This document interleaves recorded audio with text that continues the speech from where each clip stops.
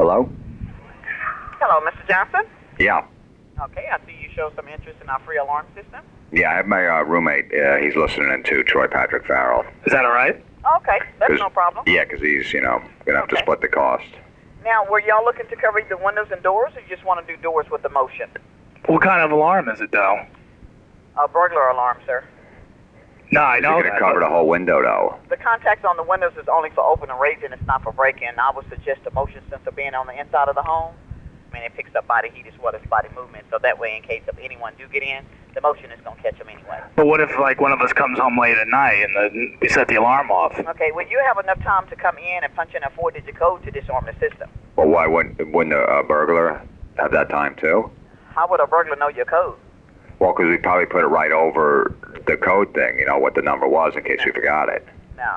I mean, that's that's letting a, that's telling a burglar, well, come on in. Here's my code. Well, they wouldn't see it from the outside.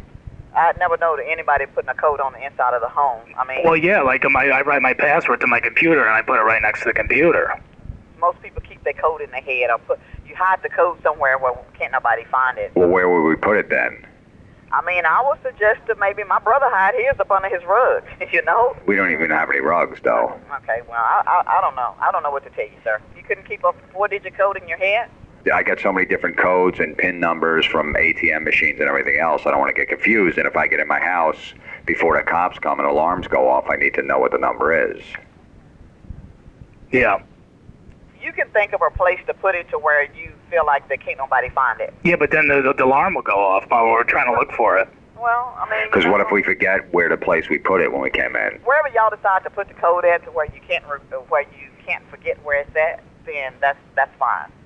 You know, but it it, it is going to require a four-digit code to get in and a four-digit code to get out.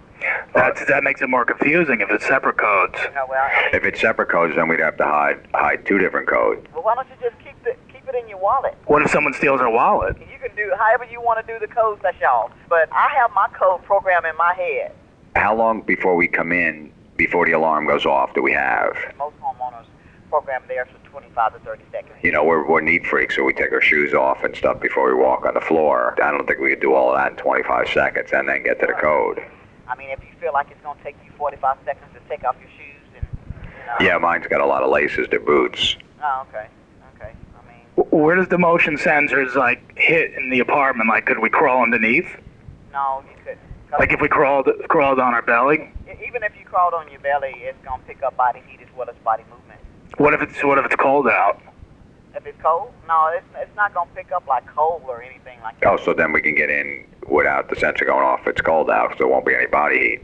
Look, I'm going to send y'all an email, Why? and I'll let y'all figure all of that out. okay? No, I mean, we're, no, I mean, we're trying to figure it out right now because I want to. Well, I'm going to send you an email. Is it going to say anything about where to put the code?